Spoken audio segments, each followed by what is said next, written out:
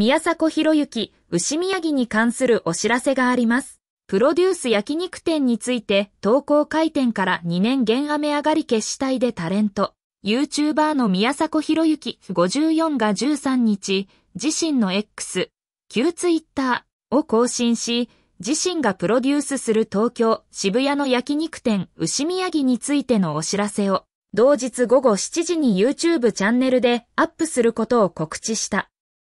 写真お知らせとは、宮迫は本日19時メインチャンネルにて牛宮城に関するお知らせがありますと記した。宮迫は闇営業問題で19年に吉本工業を契約解除となり、蛍原徹と組んでいた雨上がり決死隊は21年8月に解散した。牛宮城は当初、同年10月1日のオープンを目指したが、共同経営者だったヒカルが牛肉の質などをめぐって激怒し、オープンが延期に。